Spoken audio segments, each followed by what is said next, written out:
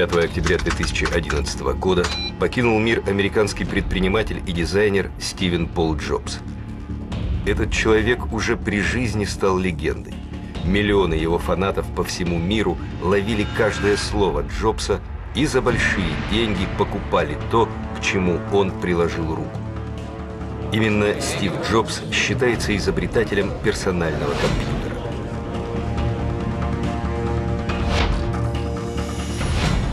Вместе со своим приятелем Стивом Возняком он собирал их в гараже. Именно Стиву Джобсу удалось убедить людей, что современному человеку невозможно жить без персонального компьютера.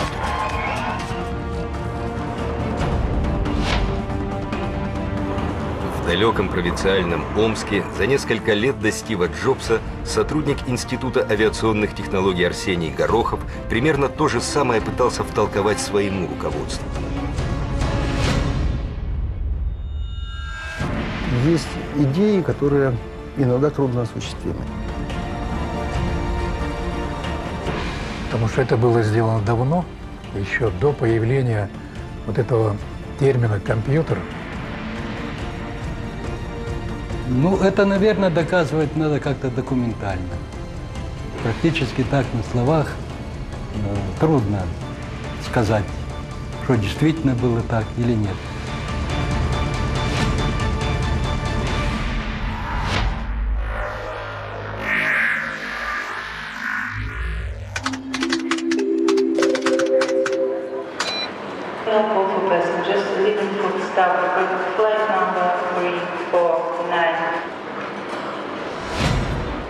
Командировка в Омск должна была подтвердить или опровергнуть факт того, что идея первого на планете персонального компьютера принадлежит нашему соотечественнику Арсению Горохову.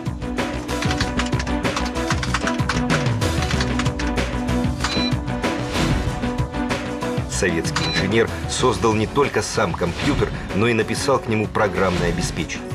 Диалог с машиной можно было осуществлять без перфокарт, прямо с клавиатуры.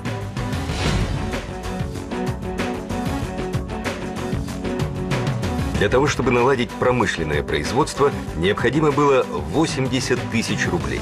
Начальство ответило, это же 10 машин «Волга». Давайте подождем несколько лет. За свою разработку Горохов получил 20 рублей. Столько платили в СССР за изобретение, не внедренное в серийное производство.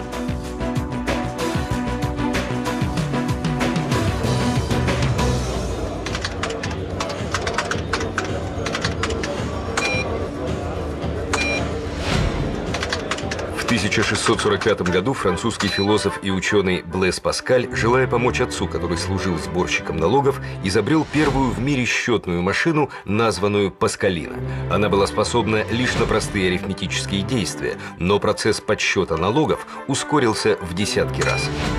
В 1671 году немецкий математик Готфрид Вильгельм Лейбниц придумал более совершенный ступенчатый арифмометр. Он мог уже умножать, делить и извлекать квадратный корень. Следующий этап вычислительных технологий не был связан с числами. Во Франции в 1804 году Жозеф Мари Жаккар создал ткацкий станок, запрограммированный с помощью перфокарты. Каждая карта контролировала одно движение челнока. Таким образом можно было создавать узоры.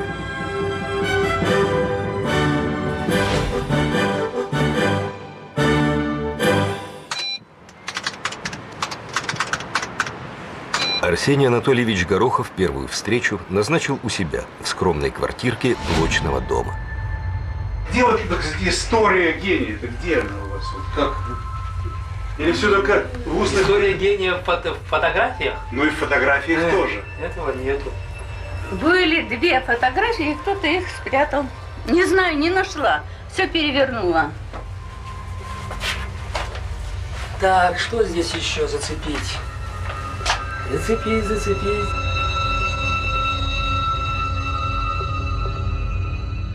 Ну, вот такая фотография была в газете, по-моему.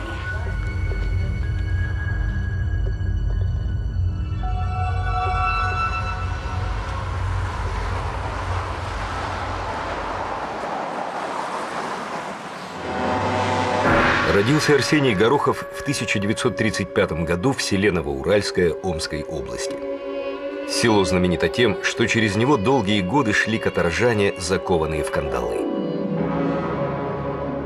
У него отец был агроном. Его там посылали все подтягивать МТС и все прочее. Ну и он ездил за ним.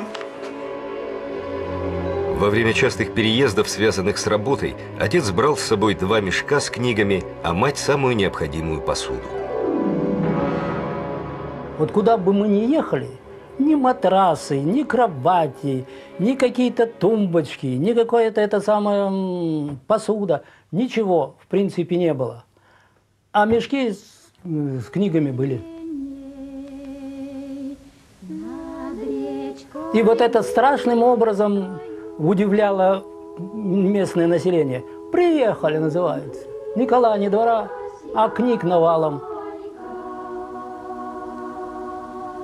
И мы жили вот в такой вот комнатке. Комнатка на самом деле вот такая уже была деревенская. И вот такая огромная карта. О, дураки! Никаких ковров, ничего нет, а карту миру повесили. Школа в селе была семилетняя. Продолжать образование Арсений поехал в Омск, в железнодорожный техникум. Там и форму давали, и стипендию платили. Я учился на механика путевых строительных машин. Уже в техникуме у юноши прорезалась страсть к изобретательству. Мне никто еще не говорил, что это изобретательство или рационализация. Никто не говорил. То есть, короче говоря, на третьем курсе нас отправили э, значит, на производственную практику. На станцию Инская около Новосибирска. На завод ремонта экскаваторов. А там, значит, и что экскаватор и подъемный кран? Самое главное у него поворотный узел. Это огромная шестерня диаметром ну, полтора, метр восемьдесят, может два. Причем разные экскаваторы, разные размеры. Так вот эти поворотные узлы часто ломались, и их необходимо было ремонтировать. Для этого с экскаватора сначала снимали кабину, а потом уже и сам узел. Но самое сложное было не это. Этот узел нужно было закрепить таким образом, чтобы ремонтники могли иметь к нему доступ со всех сторон. Такого приспособления не было. А студент Горохов придумал. Это была его первая победа. Правда, с вознаграждением, и уж тем более с авторством, старшие товарищи решили не спешить, молодой еще, и Арсений зажил обычной студенческой жизнью. А что студентам нужно? Танцульки под музыку приносили, что попало. И старинные пластинки, и там Козин и так далее. На пленке просто. Надо сказать, что руководство сильно не препятствовало. Я полагаю потому, потому что ну, все приходили, не болтались, короче, по городу а приходили отдыхать э, в этот зал. Застрадные чаши, за счастливый и радостный год, за панфункой товарищи наши, за размах наших новых работ. Единственное, что было такое запрещение, э, венгерку не танцевать, потому что э, по строительным правилам может оказаться резонанс, и второй этаж может обрушиться.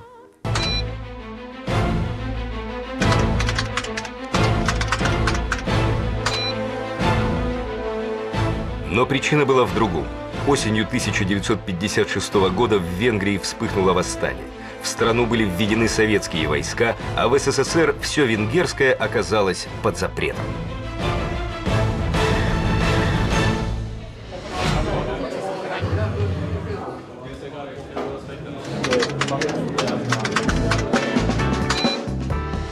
Стивен Пол Джобс родился за полгода до венгерских событий, в феврале 55-го. Родители студенты, отец из Сирии, мать из семьи немецких иммигрантов.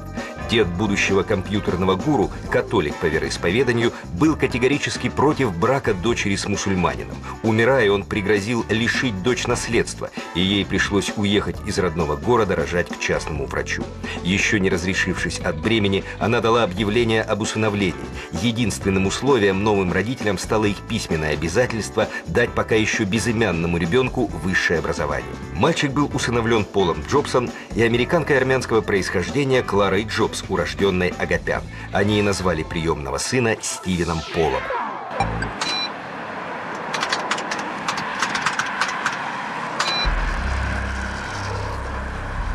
Ну это вот гений. Гений Давайте. в Ялте. Я я вот Это ты, это Мишка, а это кто? Я не знаю, может, кто-то из друзей. РТШ. Это, Ну это тоже все как-то вот он спиной стоит. Это еще техникум был. Да, это техникум, а это я не знаю, с кем-то тоже на огороде Это посылали их. уборка А урожая. порядочных фотографий, вот, ну вот я говорю, это все любительские. А вот. вот это ну какие? Ну, класс. Ну, это солдатская. Где ты это самое? Подожди, подожди, что А то я хочешь? что-нибудь оторву. Не надо. Скажи, я сделаю. Срочную службу Арсений Горохов проходил на Дальнем Востоке. Здесь тоже не обошлось без рационализаторских идей Арсения. Я служил в авиации, и, значит, мне пришла в голову мысль, а там такая интересная штучка. Э, Перед каждым полетом надо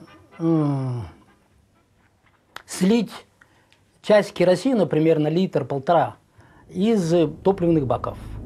Потому что значит, конденсация и так далее, керосин гигроскопичный. И вот ни в коем случае нельзя, чтобы кристаллики льда были в керосине. Если этих кристалликов много, то значит, полностью осушали баки и снова заливали новый этот самый. То это был очень жесткий контроль, а сливать приходилось и на морозе, ну летом-то ладно, по рукам течет, черт с ним. Пробка, обыкновенная пробка, правда законтренная, там несколько дырочек, и там есть пенечек, за который надо проволоку протянуть. И мне не понравилось это, я предложил краник. Чертить не на чем, чертить нечем. Э, Армия не приспособлена для того, чтобы там кто-то проявлял свои эти способности. И так вот этот клапан придумал и отдал главному инженеру. Куда девал этот чертежик главный инженер, я не знаю. Идеи благополучно присваивали отцы-командиры, зато сообразительному механику доставались поблажки по службе. Ну, тогда, значит, что-то я еще... А, таблицу ну, заправки. Значит, вот он отлетал 15 минут, значит, у него сколько-то израсходовалось. Мне, чтобы не перелить, потому что это же вес, там сколько-то можно перелить, но, но не столько, не, не по норме. Чтобы норму налить, нужно было, значит, столько-то литров залить. Значит, время на литры. И такая таблица. Значит, отлетал 45 минут, почти пустой прилетел. Пустой. Заливаем там 3 тонны. Прилетел чуть э, раньше, значит, заливаем там 50 килограмм. Вот это техническое решение было еще одно, где я, собственно, может быть, и э, э, понял, наверное, понял, что я могу чего-нибудь такое оригинальное сделать, которое полезно для организации производства. 7 ноября 1957 года. Наш народ празднует 40-летие Великой Октябрьской социалистической революции. Почти в 50 раз возросла наша промышленная мощь в сравнении с 17 годом. И это за 40 лет, половина которых была похищена навязанными нам войнами и лечением нанесенных ими ран.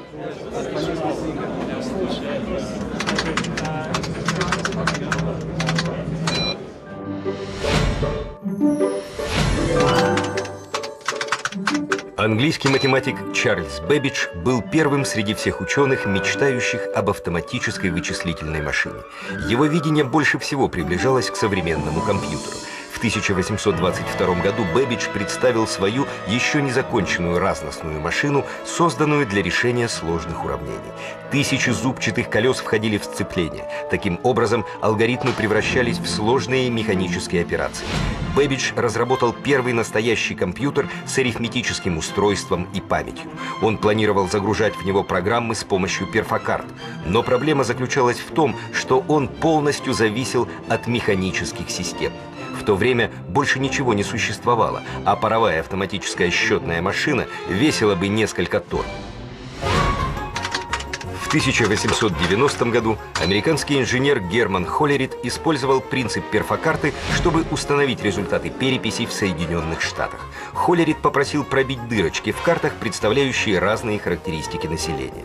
Его новая машина могла автоматически считывать эти карты, благодаря чему миллионы данных систематизировались и подсчитывались в три раза быстрее, чем раньше. Слухи об этом быстро распространились. На стыке двух веков холеритовые машины упростили работу в офисах по всему миру.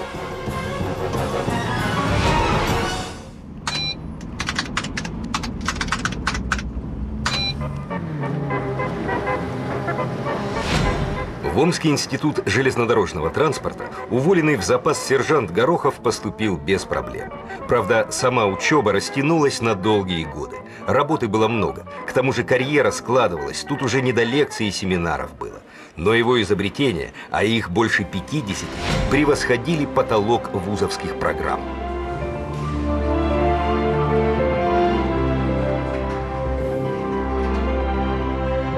Во-первых, э, он человек широко эрудированный и мог э, помогать э, в написании изобретений по различным направлениям. Все изобретатели, которые желают пройти от изобретения до внедрения, ну, на мой взгляд, немножко сумасшедшие. Очень интересно. Э, Ну, вот эти вот две вещи и чемоданчик. Это макетики, макетики, которые являются проверкой идей.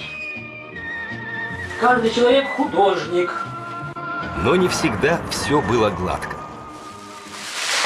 А это вот змейка проверялась. О, змейка.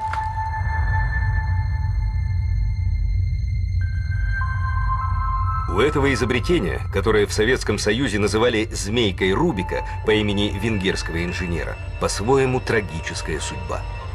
Кубик Рубика – это его достояние. Кубик он придумал, все нормально. Змейка, которую тоже почему-то решили называть змейка Рубика.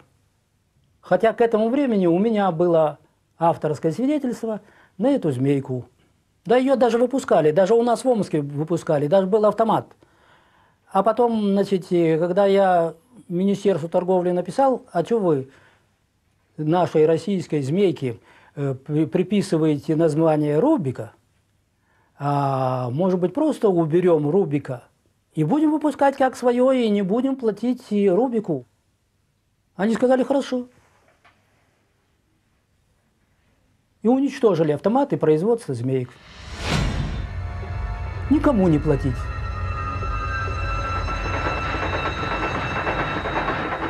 Становится все более очевидным, что человек – это основной капитал, что в многообразии проявления личности, в степени развития ее творческих способностей и заключается прежде всего подлинное богатство коммунистического общества.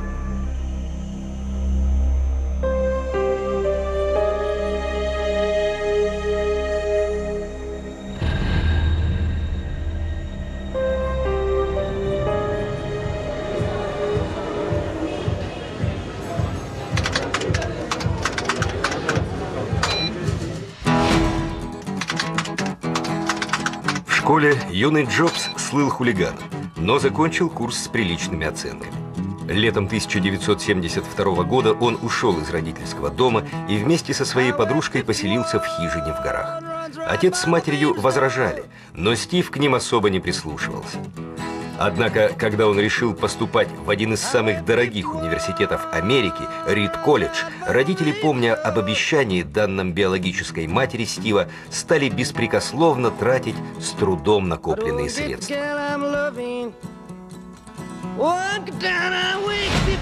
Рид колледж славился вольными нравами и хиповой атмосферой, но стандарты обучения были очень высокими. В университете Джобс впервые всерьез заинтересовался восточными духовными практиками, особенно дзен-буддизмом. Тогда же он стал убежденным вегетарианцем и начал эксперименты с голоданием. После первого же семестра Джобс бросил колледж. Поскольку нудная обязательная программа его не интересовала, он не видел смысла в ее изучении. В итоге будущий мультимиллиардер Стив Джобс так и не получил высшего образования.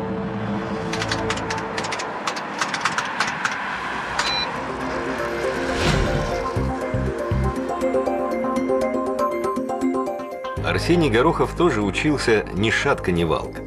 Работа в закрытом НИИ и собственное изобретательство захватили его целиком. Он стал руководителем большого коллектива.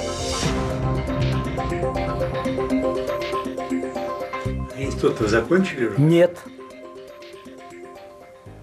Не закончил. Я был на четвертом курсе.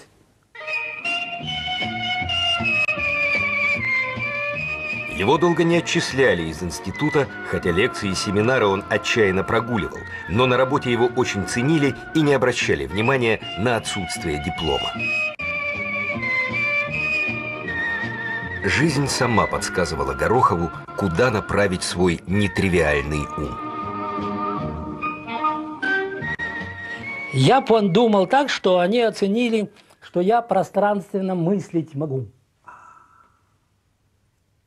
И поручили мне как раз э, работу э, скомпоновать э, новый блок. Несмотря на то, что я техник, да? Ему удавалось втиснуть в небольшой объем много радиоэлектронных устройств, да так, что они не создавали помех друг другу. Для этого нужен был особый талант. Мне это поручили, я разработал. Ну, получился вот такой блочок, продал как сундучок. И, значит, там начинка нужная. Чем-то похожим занимался и Стив Джобс спустя несколько лет. Что говорить, дизайнером и маркетологом он был отменным. А раньше этого ничего же не было, да и вычислительных машин не было. И все на счетах делали, на арифмометрах. Никаких калькуляторов еще в те времена и даже тоже никто не слышал.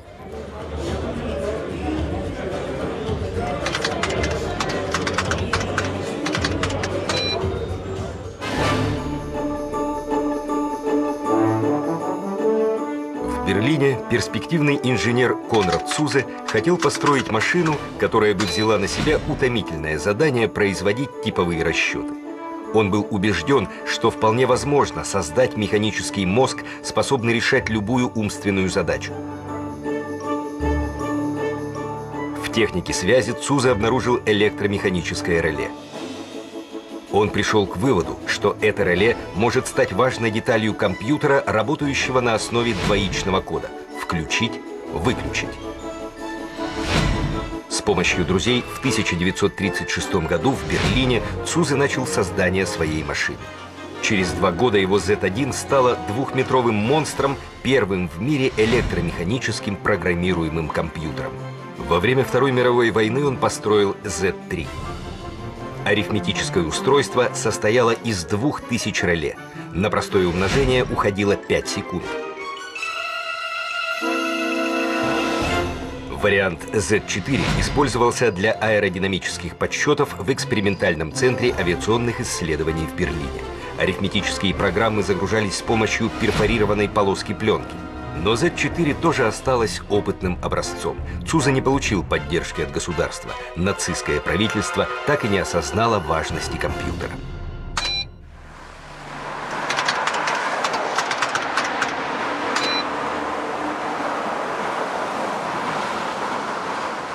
Поначалу не осознавали перспектив компьютеров и в стране победительницы фашистского рейха, Советском Союзе. Но работы над созданием вычислительных машин все же велись. Громко об этом старались не говорить. в 1948 году кибернетику, науку об управлении с помощью вычислительной техники, наряду с генетикой объявили лженаукой. Ломать стену компьютерного непонимания пришлось довольно долго. Вот почему не закончил-то. Потому что занимался вот этим техническим ростом. Информация о работе в СССР над созданием компьютеров была скудной, и Арсений Горохов мало что знал об этом. Он решал совершенно другие технические задачи. Меня перевели в инженеры, и уже я был инженер второй категории. Это значит с опытом работы инженером около 5-6 лет. Молодой инженер чувствовал, что ему уже тесно в рамках своей специальности. Появился один такой человек, который искал кадры для организации тоже конструкторского бюро как раз в НИАТИ. Это научно-исследовательский институт авиационной технологии.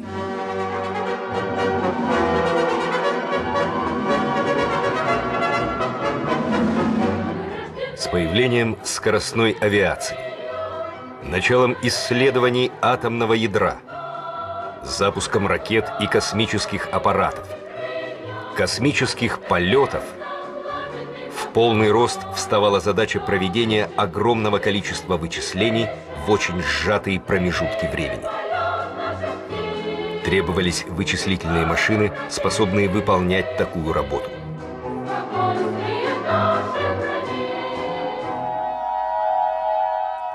Еще остро почувствовалась необходимость уменьшения их размеров и веса. И в Омске печатный монтаж никто не делал. Мне притащили кучу э, переводов зарубежных. Я уж не знаю, английских там или американских, французских, ну, в переводе уже. И вот здесь я познакомился с электроникой подробнее.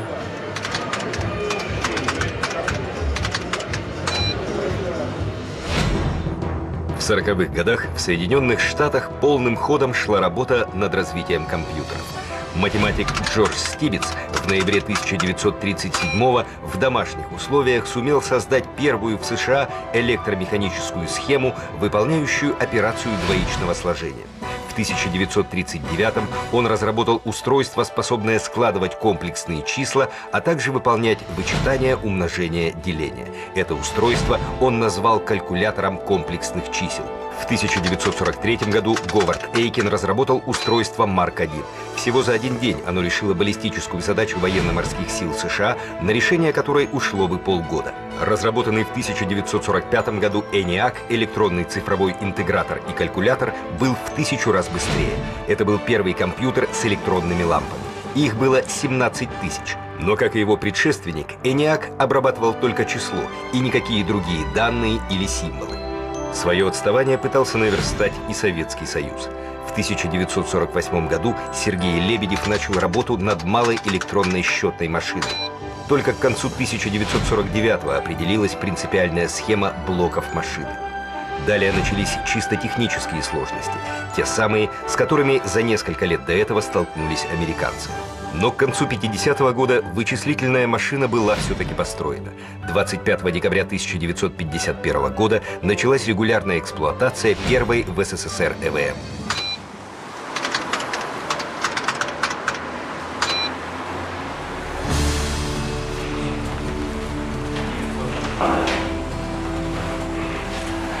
Значит так, идем к доске.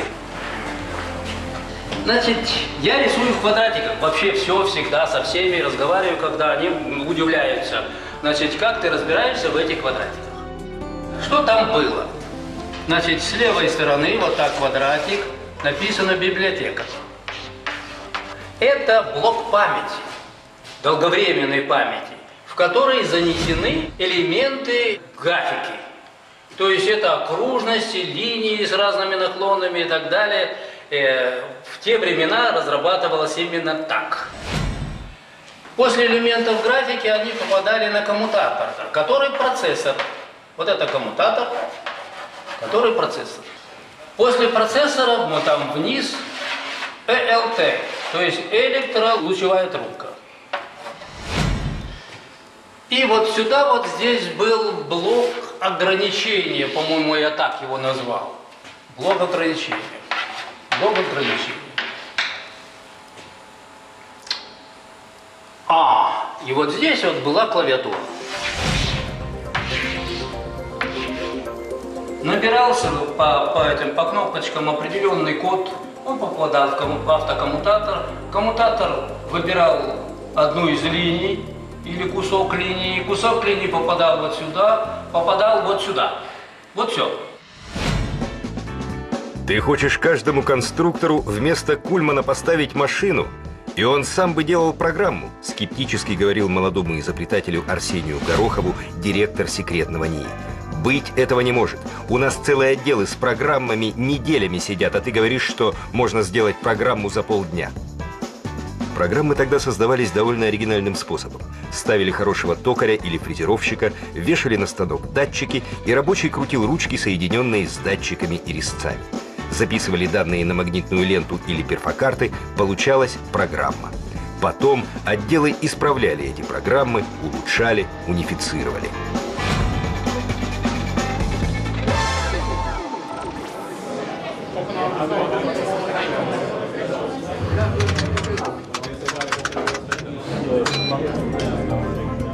Легенда, к которой приложил руку и сам Стив Джобс, гласит, что именно ему принадлежит честь создания первого в мире персонального компьютера. Но беда в том, что когда далекий омский гений запатентовал свое устройство, юный Джобс еще баловался марихуаной и галлюциногеном ЛСД, путешествовал по Индии в надежде обрести некое просветление.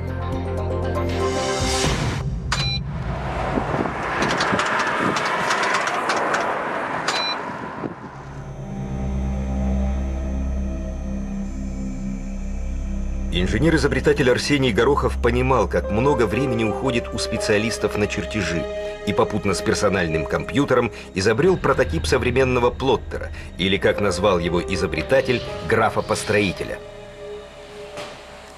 Это поле графопостроителя. То есть все то, что я здесь видел, у меня все то же самое повторилось на графопостроителе. Графопостроитель там сделан так. Пунктирными линиями вот сюда вот выведен внизу написано графопостроитель. Значит, вот это то, что мы разобрались, это вот интеллектор. А то, что вот это вот уже без библиотеки, вот так вот, это плоттер.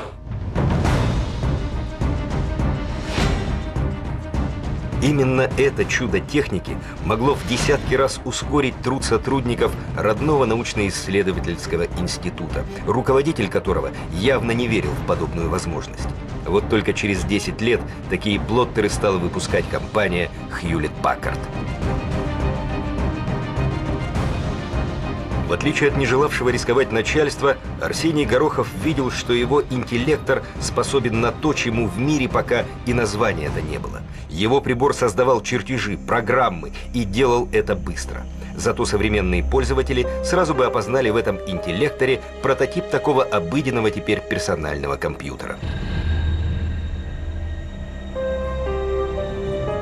В России, если смотреть историю, беда и технарей, да и всех, что э, мы, мы почему-то историю не учим. А в истории все повторяется. Все. Несколько лет изобретатель пытался убедить советское патентное ведомство, что он сделал нечто абсолютно оригинальное. Теперь я понимаю, почему это так. Потому что графопостроителей не было. Интеллектора не было. Были вычислительные машины, маленькие разделчики, все. А это же не похоже на вычислительные машины, потому что там графика, причем еще телевизор, видеосистема, клавиатура, которая раньше была на перфораторе, а больше ни на чем. То есть это какое-то, ну, будем говорить, по их впечатлениям, аморфное тело. Заявка Горохова была зарегистрирована в 1970 году в советском бюллетене изобретений, открытий и товарных знаков и выдан патент за номером 383-205. Патент, выданный Горохову, к сожалению, не гарантировал исключительного права автора на изобретение не только за рубежом, но и у себя на родине. Схема интеллектора была доступна абсолютно всем. То, что у американцев это появилось чуть позже, я не сомневаюсь. А то, что они взяли эти решения от нас, именно решения э, Алексея Анатольевича, это трудно, конечно, сказать. Но основание не лишено. Когда компьютер стал вездесущим термином, вот, тогда стали обращаться к тому, что вот, когда кто-то что-то сделал. И получается так, что это уже было предвосхищено, но компьютером ведь называли тогда это.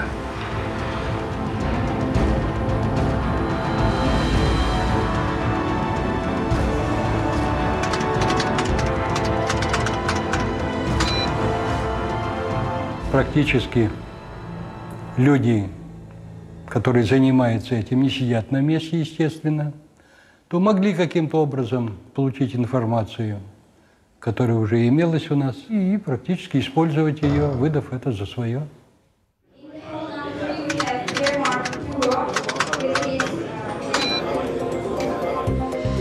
В 1976 году Стивен Возняк приглашает Стива Джобса, чтобы вместе основать свою фирму Apple Computer. Первый Apple не имел ни корпуса, ни клавиатуры, но люди стали покупать невиданное доселе устройство. Компьютер продавали по цене 666 долларов 66 центов. Однако сатанинское число вызвало бурю протестов и цену пришлось округлить.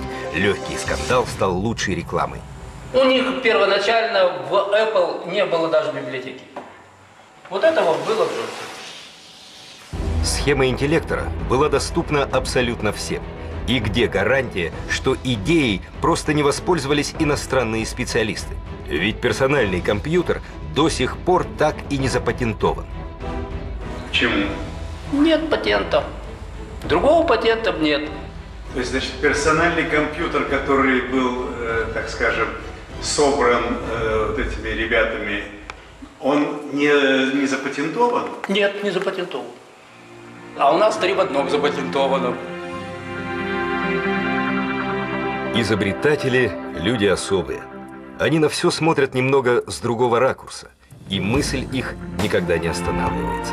Для обычного человека невозможность увидеть в реальности свою мечту могла бы стать трагедией жизни. Однако Арсений Горохов из другого теста. Он продолжает изобретать, не понимая, как можно жить по-другому.